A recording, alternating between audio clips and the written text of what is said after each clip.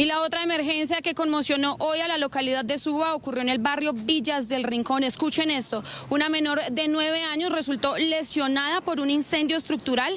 Les contamos luego de visitar el lugar que una cortina se prendió en fuego. Y escuchen además que fue la misma comunidad de este barrio Villas del Rincón la que logró rescatarla, porque dicen ellos, dicen los vecinos que se encontraba sola en este lugar, aseguran que a la fuerza tuvieron que abrir la puerta, romper algunas cerraduras, porque se alertaron por el humo, por supuesto, y luego de escuchar algunos gritos de la menor que estaba pidiendo ayuda.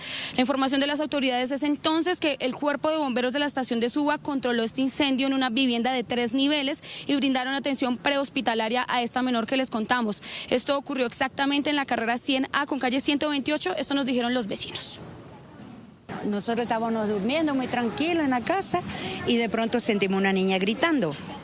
El nieto mío que estaba ahí se asomó por la ventana y vio que estaba saliendo humo. Salimos y yo le pregunto a la niña, mami, ¿con quién estáis sola? Yo me desesperé porque la niña estaba ya negrita, ella decía que se estaba ahogando con el humo, yo mire, empecé a gritar a los vecinos para que salieran, le gritaba a mi nieto, tumba la puerta. Desafortunadamente se prendió una cortina y no, no se logró manejar el fuego y como puede ver, pues la cama que estaba al lado de la cortina fue la que sufrió el, el fuego. Claro, sí, obviamente el cuarto también resultó afectado y todo.